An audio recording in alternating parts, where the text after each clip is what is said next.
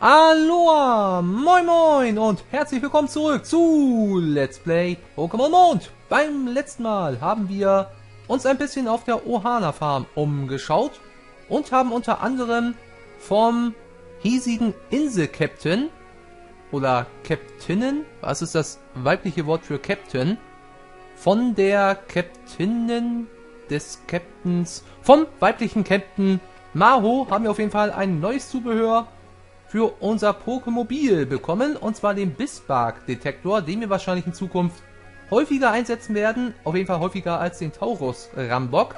Und unter anderem haben wir von der hiesigen Farm, von der Zuchtstation, ich nenne es immer Zuchtstation, haben wir ein Pokémon-Ei bekommen, wo ich schon mal sehr gespannt drauf bin, was daraus am Ende schlüpfen wird. Jetzt sind wir auf dem Weg zum Plätscherhügel, hieß er, glaube ich. Genau. Dort sollen sich auch einige Trainer rumtreiben. Und was ich, glaube ich, am Ende des letzten Partes, am Ende der letzten Aufnahme gesagt habe, war, dass ich den EP-Teiler, glaube ich, ausstellen wollte. Und das tun wir hiermit auch. Denn ich glaube, vom Level her sind wir gerade ganz gut dabei.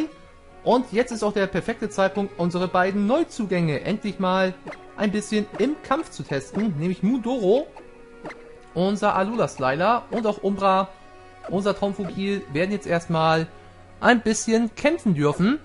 Und ich glaube, der erste Trainer, der sich da etwas merkwürdig umschaut, steht schon bereit, von unserem Alola Slimer von Mundoro in die Mangel genommen zu werden. Hallo, da habe ich ihn von hinten überrascht. Sei gegrüßt, Junge auf Inselwanderschaft. Ihr seht hier mein Kind an. Ich habe erst Kleid gelesen. Das wäre etwas beängstigender gewesen. Aber ja, zeig mal dein Kind. Ich denke mal, damit meint er sein Pokémon. Denn er hat nur ein einziges, Gentleman Kunze. Oh, so ein typischer altdeutscher Name, oder? Los, Kunze. Dann zeig mal, was du so hast. Ein Subiris. Okay, das ist interessant. Von Typ Geist und Licht. Und man weiß ja, dass, ich muss kurz überlegen, aber dieser, diese Typenkombination, Gift und Geist hat doch eine einzige Schwäche, oder? Und zwar gegen Feenattacken. Leider haben wir keine Feenattacken. Und wir kämpfen das allererste Mal gegen ein Subiris. Ich überlege gerade, Unlicht auf Unlicht ist nicht sehr effektiv, oder? Dann dürfte, da Unlichtattacken auf Geist sehr effektiv sind, auch Unlichtattacken neutral effektiv sein. Wir probieren es auf jeden Fall mit unserem Biss. Und Mudoro ist schneller. Ist kein Nachtnebel, okay. Das zieht uns auf jeden Fall 15 KP ab. Der Nachtnebel ist eine Attacke, die macht so viel Schaden. Genauso wie der Geowurf, je nach dem Level des angreifenden Pokémon. Und ja, wir haben Mudoro ja die Überreste zum Tragen gegeben. Und Slimer, wenn man es von hinten betrachtet, sieht einfach unheimlich fett aus, oder? Wenn wir gleich nochmal in die Nahkampfpose gehen. Okay, wir kommen jetzt nicht mehr in die Nahkampfpose. Okay, es ist auch nur ein fetter Haufen Schleim. Was soll man von Slimer auch erwarten? Okay, auf jeden Fall natürlich der Scanner. Ach, ja, das können CPUs sehr, sehr gut. Nämlich solche, solche Attacken wie Schutzschild und Scanner zu spammen, obwohl das überhaupt keinen Sinn ergibt, außer den Kampf unnötig in die Länge zu ziehen. Auf jeden Fall, was wollte ich sagen? Subiris Initiative scheint nicht besonders beeindruckend zu sein, wenn es sogar langsamer ist als ein Alola Slimer, was mich schon etwas überrascht. Denn unser Mundoro, unser Alola Slimer, hat ja auch noch ein Wesen, das die sowieso geringe Initiative noch weiter sinkt. Und wir haben Subiris, äh, Subiris, Subiris gleich zweimal zurückschrecken lassen. Und in der Zwischenzeit ist Mundoro fast wieder bei voller KP. Es sei denn, der Gentleman kann Tränke wie eine Top-Genesung einsetzen. Und so kann sich der Kampf noch länger in die Länge ziehen. Aber immerhin ist Mudoro jetzt wieder bei voller KP. Okay, wir können auch Raub einsetzen, wobei das nützt überhaupt nichts, denn Raub hat die exakt gleiche Stärke wie Biss. Aber bei Biss hat man noch den eventuellen Nebeneffekt, das Zurückschrecken wollte ich sagen, aber in dem Moment ist Subiris nicht zurückgeschreckt. Es greift mit der Kratzfurie an. Trifft zum Glück nur zweimal. Und ich glaube, dieser Kampf hier, obwohl es nur ein 1 gegen 1 ist, ist einer der längsten Kämpfe bislang in diesem Let's Play. Aufgrund der ganzen Animationen der Überreste und auch aufgrund einer Attacke, die sich Scanner schimpft. Ich habe doch gerade eben dir erklärt, lieber Kunze, dass das einfach völlig unnütz ist, was du da machst. So, ich hoffe mit zwei Bissen ist es erledigt. Es kommt jetzt wieder mit Nachtnebel an, die beste Attacke, die es auch gegen uns einsetzen kann.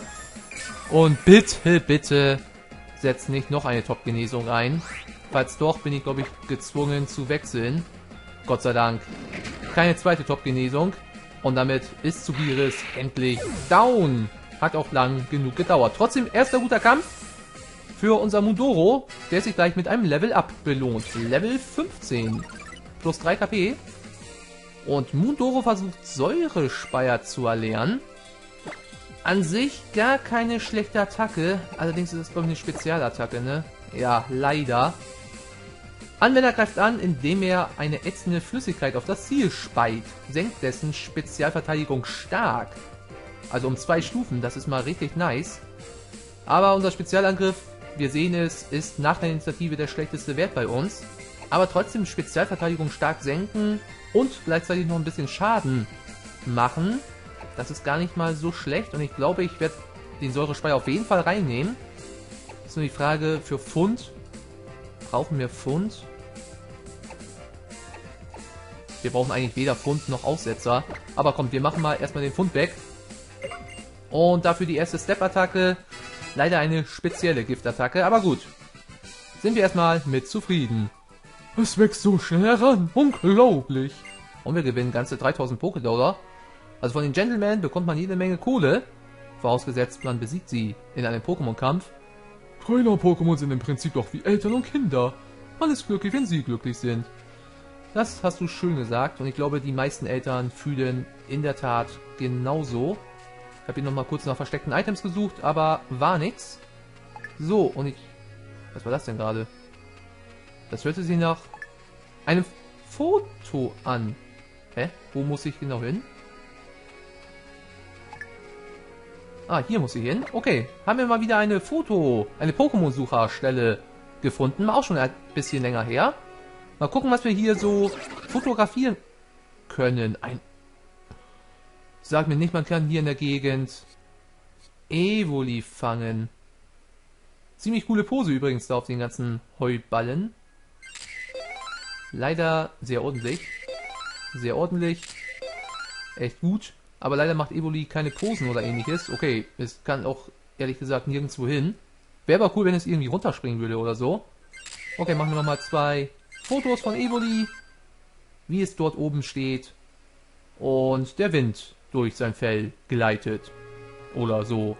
Okay, mal gucken, was wir so für Kommentare bekommen. Aber erstmal das Foto natürlich auswählen ähneln sich alle ziemlich ähnlich, würde ich sagen. Nehmen wir einfach mal das zweite hier. Ist, glaube ich, vom Zoom-Faktor am besten. Und dann kommen auch gleich die Kommentare rein. Süß, sagt jemand. Das ist ein Alola, oder? Ich bin mir nicht sicher. Ich bin doch müde. Was für ein schöner, klarer Himmel. Ich mag das Foto. Mach bitte ein niedliches Foto. Hm. Okay, immerhin haben wir 2344 Positive Bewertung. Für dieses eine Foto?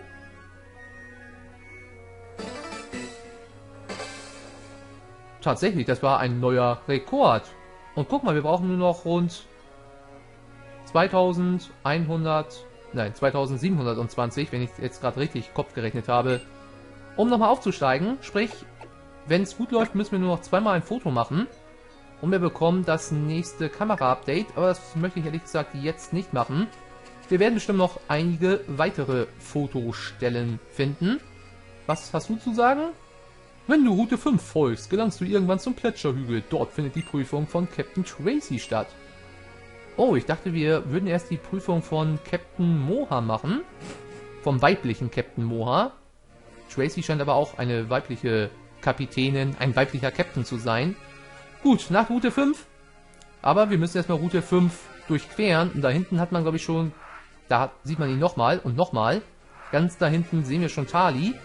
Aber vorher müssen wir anscheinend gegen dich kämpfen. Dieser alte Herr hier gibt alles dafür, dass ihr Kinder die Inselwanderschaft heil übersteht. Als Prüfungshelfer ist es meine Aufgabe, die Stärke der Teilnehmer zu testen. Zeig mir doch erstmal, wie du allen anderen Trainern auf Route 5 besiegst, Kindchen. Okay, gegen den müssen wir also kämpfen, sobald wir alle anderen besiegt haben. Und da haben uns zwei Trainer auf einmal erspäht. Ist das etwa unser erster Doppelkampf in diesem Spiel? Eins und eins ist zwei. Oder doch drei? Vielleicht sogar vier? Ich werde nicht verlieren. Ich muss nur fest genug daran glauben. Hm. Ja, Glauben ist natürlich gut. Aber manchmal nützt auch der stärkste Glauben. Nicht, wenn ihr es nicht drauf habt. Zwillinge Franzi und Lea fordern dich heraus. Unser erster Doppelkampf. Vonera und Fluffeluff. Ja, das passt natürlich zu den beiden. Die beiden Baby-Pokémon und Fluffeluff schwebt. Und das ist doch interessant. Unser neuestes Team-Duo bildet gleich mal hier im Kampf ebenfalls ein Duo. Leveltechnisch alle auf dem gleichen Niveau. Da bin ich mal sehr gespannt. Ich denke, Traumfugi ist hier eine sehr gute Wahl. Gegen Fluffeluff und Vonera. Denn Normalattacken können ihm gar nichts anhaben. Ist die Frage, wen wir zuerst angreifen. Die physische Verteidigung von Vonera, von der gesamten Vonera-Entwicklung, ist ja bekanntermaßen sehr schwach. Deswegen greifen wir dann natürlich physisch an. Aber was machen wir mit unserem Umbra, mit unserem Traunfugil? Kraftreserve haben wir ihn ja beim letzten Mal beigebracht. Hat den Typen Gift, wenn ich mich richtig erinnere. Und Fluffeluff ist doch schon ein Feen-Pokémon, oder? Oder ist Fluffeluff nur ein Normal-Pokémon? Ich meine, es wäre schon ein Feen-Pokémon. Sprich, das müsste eigentlich sehr effektiv sein. Probieren wir es aus. Kraftreserve von unseren Umbra. Ja, und es ist sehr effektiv. Sprich, es ist tatsächlich schon von Typ Fee. Bitterkuss geht auf Traunfugi. Das gefällt mir jetzt nicht so gut, denn dadurch werden wir verwirrt. So, Mundoro, du darfst Vonera angreifen und das, okay, ein Volltreffer. Hätte aber vielleicht sogar auch so für einen One-Hit gereicht. Und Vonera ist auch bekannt dafür, sehr viele Erfahrungspunkte zu geben. Fluffel-Uff benutzt einen Imitator. An wem denn? Oh, von Slimer. Oh, und greift damit Umbra an. Das war mal gar keine so schlechte Taktik. Mein liebes Fluffeluff hat einfach den Biss benutzt, um Traumfugil effektiv zu anzugreifen. Ich bin ja schon fast beeindruckt von diesem geschickten Spielzug. Wir greifen aber nichtsdestotrotz Fluffeluff nochmal ein Biss an. Zwar nicht sehr effektiv, aber sollte ausreichen. Und Raumfugi möchte ich mal ganz kurz auswechseln, denn ich habe keine Lust, dass es sich selbst verletzt. Unsere anderen drei Teammitglieder bei The Ray sind schon auf Level 19. Wir wechseln mal ganz kurz zu Stella. Dann bekommt sie immerhin noch, noch ein bisschen Erfahrungspunkte. Auch noch dazu. So, Mundoro, mach den Rest. Bitte.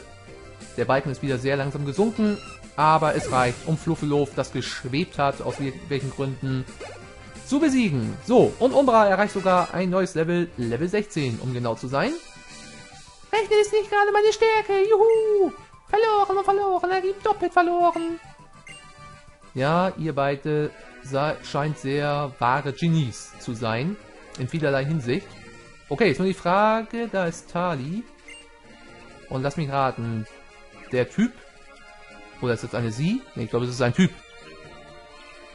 dem oder der Tali gegenübersteht, ist doch bestimmt diese Tracy, oder? Also ist es doch eine sie. Auf jeden Fall, was steht hier drauf? Route 5. Ein verworrener Weg mit Stufen. Aber was ich mich fragen wollte, wie viele Trainer es hier wohl auf der Route gibt, bevor wir den Typen da am Anfang herausfordern können. Erstmal einen Supertrank gefunden und wir finden auch eine neue Grasfläche. Und das können wir eigentlich mal ganz kurz nutzen, um unser Bisswag rauszuholen. Und ich wusste doch, irgendwas ist hier wieder in der Nähe.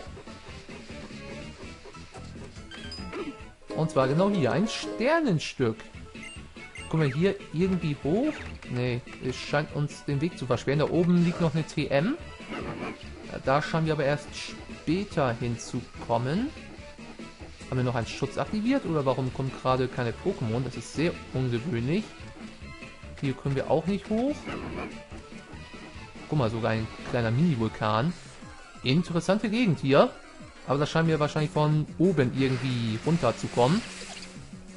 In der Zwischenzeit können wir uns mal anschauen, was man hier so fangen kann. Zum Beispiel ein Pipek. Und überraschenderweise trägt, wobei überraschenderweise ist das gar nicht, aber unser Charakter trägt den gleichen Reitanzug, wenn er auf Tauros steigt oder eben auch auf Bisbark steigt. Allerdings finde ich das ein bisschen unnötig, wobei, wenn Bisbark normales Tempo hat, dann läuft Bisbark, glaube ich, schneller als Tauros, als Tauros im normalen Tempo. Von daher ist das vielleicht doch schon gerechtfertigt, dass unser Charakter auch einen Helm dabei trägt. Und wir können hier auch einen Yorklef fangen. Allerdings haben wir jetzt schon einen Bisbark, auf dem wir gerade reiten, auch wenn wir ihn nicht, leider nicht im Kampf einsetzen können, aber es gibt, glaube ich, Schlimmeres. Und da hat uns schon wieder eine Züchterin, ist das, glaube ich, ja, entdeckt. Als Züchterin muss man die Stärken deiner Pokémon entdecken und fördern. Wenn du das sagst, dann zeig doch mal, wie du deine Pokémon förderst. Indem du sie gnadenlos verlieren lässt. Liebe Manuela, wenn das deine Taktik ist, wir können dir dabei helfen. Was zur Hölle bist denn du? Ein Bumbungus. Ich habe keine Ahnung, von welchem Typ dieses Viech ist allein dem Aussehen nach zu urteilen, könnte es ein Feen-Pokémon sein oder ein Pflanzen-Pokémon oder sogar beides. So oder so, eine Giftattacke müsste eigentlich sehr effektiv sein. Wir probieren mal den Säurespeier. Das erste Mal in Aktion. Und es ist sehr effektiv. Und macht auch ganz gut Schaden. Und nicht steigt, sondern senkt die Spezialverteidigung. Blitz. What the fuck. Es senkt unsere Genauigkeit. Okay. Wenn du meinst, das könnte dich davor retten, besiegt zu werden, dann mach mal ruhig. Ich hoffe, dass der Säurespeier nochmal trifft. Nein, geht natürlich daneben. Und das Viech kann sich heilen. Mondschein. Ich glaube in der Tat, es ist ein Feen-Pokémon. Oder vielleicht sogar beides, Feen und Pflanze. Dann sind Giftattacken sogar vierfach effektiv. Und wir haben ja vorhin seine Spezialverteidigung stark gesenkt. Sprich, ein weiterer Säulespeier sollte jetzt eigentlich ausreichen. Wenn er trifft, er trifft. Und das sollte jetzt, ja, ausreichen. Sehr schön. Aber trotzdem, was bist du denn für ein Pokémon? Ich vermute mal ganz stark, dass man dich hier auf dieser Route eventuell sogar fangen kann, oder? Würde mich sehr interessieren, welchen Typen dieses Pokémon angehört. Werden wir aber bestimmt noch bei Zeiten herausfinden. So, noch ein bisschen hochheilen. Und ein Level Up übrigens auch für unser Alola Slimer. Und ein Ladybar kommt noch. Das sollte jetzt auch nicht die große Herausforderung darstellen. Auf Level 16 ebenfalls. Aber wir sind momentan, glaube ich, was den Levelschnitt angeht, ganz gut dabei. Oh, Reflektor. Das heißt, unsere Attacken, unsere Biss und unsere Ruheattacke machen nicht, mehr so viel Schaden. Gift. Ach ja! Ich wollte gerade sagen. Hä? Hat Ladybar eine Fähigkeit, die uns vergiften kann? Nein, im Gegenteil. Mundoro hat natürlich eine Attacke, die den Gegner vergiften kann. Andererseits können Gift-Pokémon ja logischerweise gar nicht vergiftet werden. Habe ich nur kurz nicht dran gedacht. Auf jeden Fall, sobald wir einen Gegner... Dann Tempo lieb, okay. Sobald Slimer ein gegnerisch, gegnerisches Pokémon mit einer Attacke berührt, kann eben immer eine Vergiftung auftreten. Giftgriff heißt diese Fähigkeit, glaube ich. Muss ich noch mal ganz kurz nachschauen. Ähm, und zwar wollte ich kurz den Teambericht, beziehungsweise nur den Bericht von Slimer. Oh, schon ein Kampf. Ich hasse die Steuerung mit dem Analogstick. Giftgriff. Genau, so hieß die Fähigkeit. Oder heißt sie immer noch. Wir sind ja immer noch in der Gegenwart. Und die Fähigkeit ist noch nicht ausgestorben. So, dann müssen wir noch einmal angreifen mit Biss. Da nützt dir dein Bodyguard auch nichts mehr. Sollte im Normalfall ausreichen und Ladybar, der kleine gepunktete Käfer, Marienkäfer, geht zurück in seinen Pokéball. Ich wünschte, ich wüsste, was meine Stärken sind. Das Sprechen auf jeden Fall anscheinend nicht und das Kämpfen ebenso nicht. Aber du wirst schon einen Weg finden. Ich bin mir fast sicher. Und guck mal, wer da hockt. Ich wollte eigentlich schon immer mal wieder erwähnen, wir sind einem gewissen Team schon etwas länger nicht mehr begegnet. Wurde ja auch mal wieder Zeit. Aber bevor wir zu den beiden gehen, wollte ich erstmal gucken, was Tali hier so treibt. Diese olle Grinsebacke. Hahaha, das war wohl nichts. Ich hab schon wieder verloren, ich Volldepp. Und wer bist du? Nimmst du das hier überhaupt ernst? Na klar, aber verlieren macht doch so viel Spaß. Aber ich will auch Spaß beim Kämpfen haben, deswegen verliere ich immer. Hm. Spaß haben. Das Recht, Spaß an einem Kampf zu haben, musst du dir erst verdienen, indem du an die Grenzen deiner Leistungsfähigkeit stößt. Oh Mann, Killer, der redet völlig, völlig wirres Zeug, Alter. Dieser Typ macht mir Angst. Hm, dein Name ist Killer? Ähm, ja, wieso? Nein, bin ich nicht. Und ich kenne diesen Typ da überhaupt nicht. Oh, guck mal, wie Tali schaut. Wer will das wissen? Äh, ja, wieso? Hm, so unüberlegt mit der Wahrheit rauszurücken. Sogar Pokémon sind vorsichtiger als du. Mein Name ist Gladio und ich bin genauso unvorsichtig wie du. Mein Partner Null und ich trainieren unermüdlich, um stärker zu werden. Im Moment erledige ich allerdings ein paar Aufträge für Team Skull. Aber lass mir das Gerede. Jetzt wird gekämpft. Ja, wieso auch nicht? Alles in dieser Welt, anscheinend fast alles in dieser Welt, wird mit Pokémon-Kämpfen geregelt. Und das ist also Team Skull-Mitglied Gladio. Interessante Kampfmucke. Okay, dann gucken wir mal, was Gladio so hat. Ein Zubat. Auch so ein typisches Pokémon, das die meisten bösen, in Anführungszeichen bösen Teams mit im Team haben. Und guck mal seine Kampfpose an. Was macht er denn da? Zittert er? Hat er Angst vor der Niederlage, die ihm bevorsteht? Zubat Level 17 auf jeden Fall. Da nützt unsere Giftattacke nicht so viel, aber Biss sollte eigentlich immer noch ordentlich Schaden machen.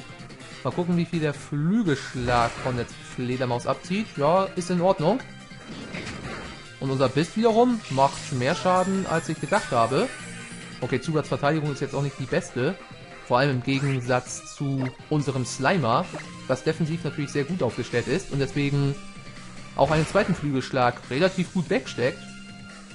Also ich glaube, mit unserem Mundoro werden wir noch so unser, unseren Spaß haben. Und wieder ein bisschen Heilung durch die Überreste.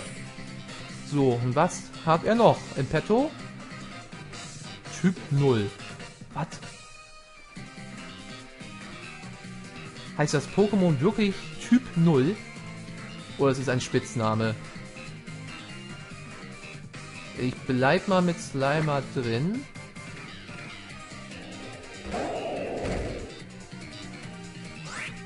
Was zur Hölle bist denn du? Alter, was ist das denn? Das Viech kann ich gerade mal überhaupt nicht einschätzen. Was ist denn das?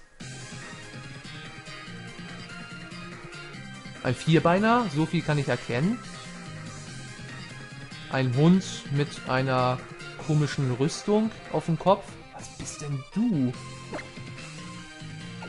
Ich habe keine Ahnung, welchen Typ Typ 0 angehört. Ja, wahrscheinlich den Typ 0. Und Typ 0 ist wahrscheinlich ein Typ, der gegen alles immun ist, dem man praktisch überhaupt keinen Schaden machen kann. Holy shit. Tackle hat relativ viel Schaden gemacht und es steckt auch eine Menge ein auf jeden Fall. Welches Level bist du? 18 habe ich glaube ich gerade gesehen. Ja. Vielleicht vom Typ normal und irgendwas dazu. Nochmal Säurespeier. Ein Tackle überlebt Mundoro hoffentlich. Nein, überlebt es nicht mehr. Okay, interessant. Dann setzen wir mal Umbra als nächstes ein. Gegen Umbra kann es auf jeden Fall keine Normalattacken einsetzen. Und wir wiederum können natürlich auch keine Geistattacken einsetzen. Wobei der Konfusstrahl, der sollte natürlich trotzdem treffen. Wir sind auf jeden Fall schon mal schneller. Und verlieren es mal zur Sicherheit, in der Hoffnung, dass es sich selbst verletzt. Los, Typ 0. Du bist doch eine 0, oder? Nein, es setzt Verfolgung ein. Holy shit. Das macht viel Schaden, aber Traumfugi hält das aus. Problem ist, ich kann jetzt nicht wechseln, denn er wird bestimmt nochmal Verfolgung einsetzen. Und Verfolgung bekanntermaßen trifft der, obwohl man das Pokémon auswechselt. Deswegen setze ich mal sicherheitshalber einen Trank ein. In der Hoffnung, dass die Verwirrung zum Einsatz kommt. Wobei, habe ich glaube ich noch gar nicht erzählt. Oh, es ist nicht mehr verwirrt. Na toll. Wir sind gerade ein bisschen im Nachteil. Ich weiß nicht, ob ich das schon... Oh, es wird nur ein Free-Hit. Sehr schön. Ich weiß nicht, ob ich es schon erzählt habe, aber ich glaube, Verwirrung wurde ja auch ein bisschen reduziert in der Hinsicht. Vorher war es ja immer so bis zur sechsten Generation, dass das Pokémon, das verwirrt ist, sich zu einer Wahrscheinlichkeit von 50% selbst geschlagen hat. Und diese Rate wurde gesenkt, ich glaube auf 25%. Also Verwirrung ist nicht mehr so schlimm wie in den Vorgängereditionen. Trotzdem frage ich mich immer noch, welche Typenkombination das Viech hat. Ich greife auf jeden Fall mit Kraftreserve Gift an. Was auch normal effektiv ist. Toll, das Blöde ist, ich kann Traumphobie jetzt nicht auswechseln. Es wird so oder so down gehen. Deswegen, ich versuche Traumphobie mal die ganze Zeit gegen zu heilen. Aber welche Typenkombination könnte das Viech haben? Geistattacken werden bestimmt keine Wirkung haben. Ich greife einfach mal mit Zielwelle an, in der Hoffnung, dass wir irgendwie einen guten Schlag erwischen. Aber das hat jetzt auch nicht so beeindruckend viel Schaden gemacht. Ich glaube, wir müssen Traumfugi tatsächlich down gehen lassen. So leid es mir tut. Wir können es nochmal verwirren. In der Hoffnung, dass die 25% Chance eingreift, dass er sich eben selbst verletzt. Falls ja, dann würde ich sogar Traumfugi noch ein weiteres Mal heilen. Nein, aber es kommt durch die Verwirrung durch und setzt auch Traumfugi matt. Okay, auch unser zweiter Neuzugang. Unsere beiden neuen Teammitglieder, neuesten Teammitglieder sind jetzt down. Dann muss mal Gloria hoffentlich regeln. Auch schon etwas länger nicht mehr gekämpft. Leider wir keine Kampfattacke. Ich setze mal den Käferbiss ein. Typ 0 ist auf jeden Fall schneller aber kommt wieder durch mit Tackle. Und er macht ganz schön Schaden. Ich glaube, der gehört wirklich den Typ normal an. Käferbiss ist ebenfalls normal effektiv. Als nächstes mal mal den Funkensprung. Jawohl, die Flinkklaue triggert. Sehr schön. Auch Elektroattacken sind normal effektiv. Verwirrung ist natürlich auch wieder weg. Und der Tackle setzt uns auch ganz schön zu. So, wenn der taktisch jetzt clever ist, wird er Verfolgung einsetzen der Verfolgung sollte im Normalfall jetzt eigentlich ausreichen. Ich möchte einfach mal testen, ob die KI tatsächlich so schlau ist und er ahnt, dass ich auswechseln will. Falls ja, bin ich wirklich beeindruckt. Aber er hat es nicht erahnt. Und wir können problemlos zu Stella wechseln, denn er bleibt stur beim Tackle, der wirklich nicht wenig Schaden macht. So, wir wetzen, wir wetzen, nein, wir setzen jetzt mal den Durchbruch ein.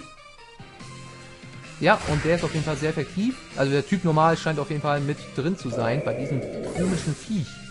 Eine Kreuzung aus irgendwelchen verschiedenen Dingen. Ich kann es nicht genau erklären. Level 20 für Stella.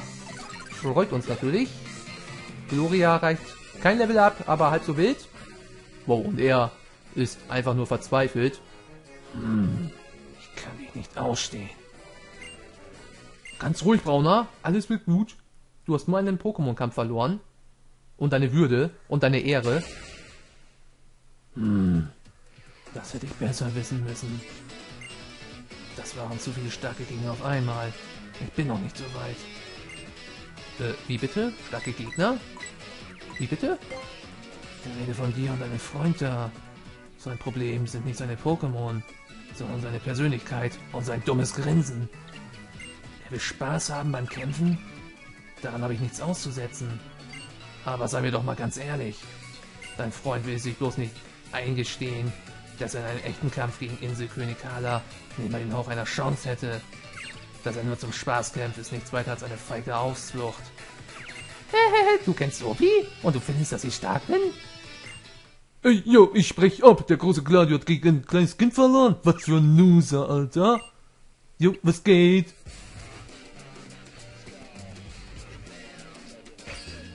Ja Kinder, dass ein herrenloser Streuner wie du nur eine große Klappe hat, aber nichts dahinter, Mann. Am besten verziehst du einfach, oh, verziehst du dich einfach und überlässt das uns den Profis, ey. Jo, genau. Davon rate ich euch ab. Was? Ihr könnt ja nicht mal gegen mich gewinnen. Bringt eure Pokémon nicht unnötig in Gefahr. Ihre Pokémon sind stark. Und wenn schon, Mann. Wir sind den ganzen Weg bis hierher gekommen. Äh, wir sind den ganzen Weg bis hierher gekommen und jetzt wollen wir mit leeren Händen zurück. Dabei hatten wir das Herrscher-Pokémon vom Flaschlawische schon so gut wie in der Tasche. Bis du uns dazwischen gefunkt hast, Mann. Aber was soll's. Komm schon, wir kratzen die Kurve. Ihr kennt ja das alte ausgelutschte Sprichwort. Flugs nach Haus, mein Kind, wenn Kramurks am Himmel sind. So oder so ähnlich. Jo, ich sperr mal die Lausche auf, Gladier. Der Boss kann dich vielleicht gut leiden, aber du bist und bleibst außer, bleibst unser Laufbursche. Du wirst nie zu uns gehören. Hast du das endlich kapiert, Mann? Jo, mm, jo, ich rappe mal davon. Okay. Eine interessante Bekanntschaft? Danke, Kinder. Und ihr auch, Trombeck. Das habt ihr wirklich toll gemacht. Hm, und jetzt? Wenn ich die Prüfung am Plätscherhügel bestehen will, muss ich meine Pokémon noch ein bisschen trainieren. Hier, Killer, das wird dir bestimmt helfen. Halt die Ohren steif. Drei Exemplare des Items Beleber. Hat er uns nicht schon mal Beleber geschenkt? Und warum hat er so viele bei sich? Soll oder will das Spiel uns damit irgendetwas sagen? Ja, hau du mal ab. Dauer, Grinsebacke. Und schon wartet die nächste Prüfung am Plätscherhügel auf uns. Okay. Ja, die nächste Prüfung, beziehungsweise die erste Prüfung auf dieser Insel hier. Aber vorher gucken wir uns hier noch ein bisschen um, denn hier haben wir noch weitere Grasflächen. Und vorher gucken wir mal ganz kurz mit epischer Musik, ob wir hier noch Items finden. Zum Beispiel diesen Rock dieser jungen Dame. Das hiesige Pokémon Center ist gar nicht mehr weit. Von dort kommst du dann auch direkt zur Prüfungsstätte, dem Plätscherhügel.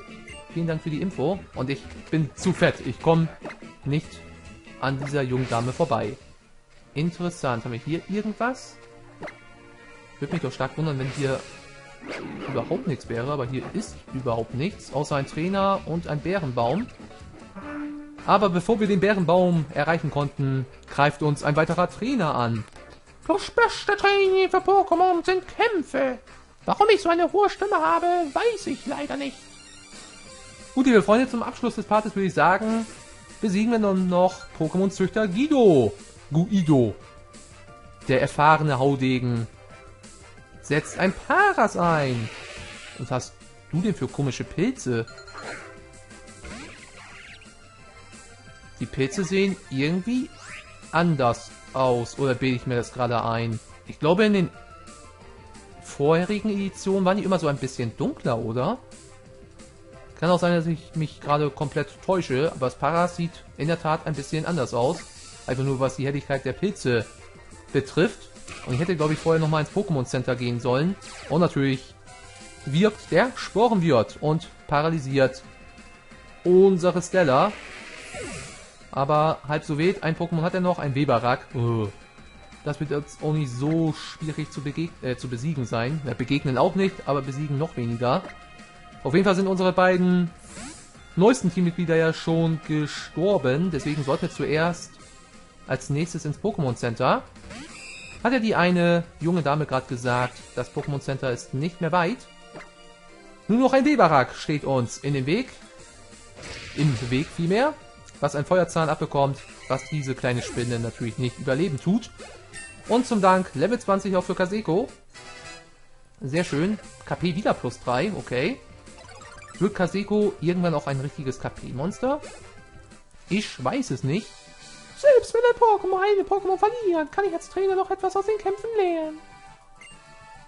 Äh, okay. Lern lieber mal deine Stimme ein bisschen zu kontrollieren. Lieber Pokémon-Züchter. So, haben wir hier noch irgendwas Items technisch? Dann nehmen wir erstmal die Bären. Ein Pokémon, das gerade Bären gefressen hat, springt auf und greift dich an. Oder irgendetwas in der Richtung stand da, glaube ich, gerade. Gut, dann müssen wir dieses Krabox wahrscheinlich. Ja, es sind anscheinend wirklich immer Krabox, die da heimlich an Bären naschen.